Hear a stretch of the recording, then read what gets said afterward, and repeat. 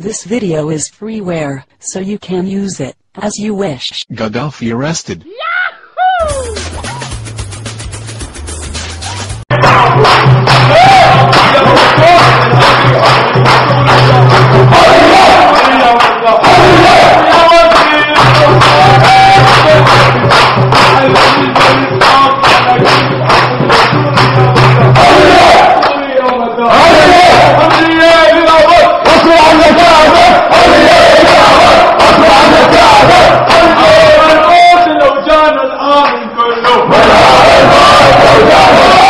Seeper perhaps also.